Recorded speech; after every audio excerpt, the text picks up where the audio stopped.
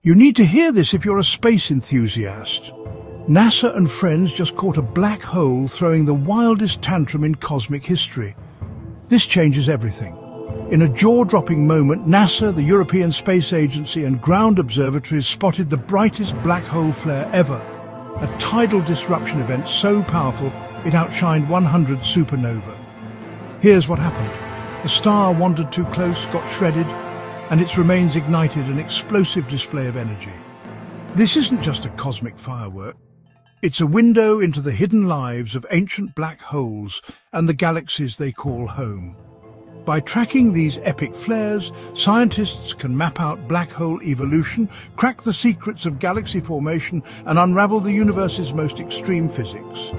So next time you gaze up, remember, space still has surprises that outshine even our wildest imagination.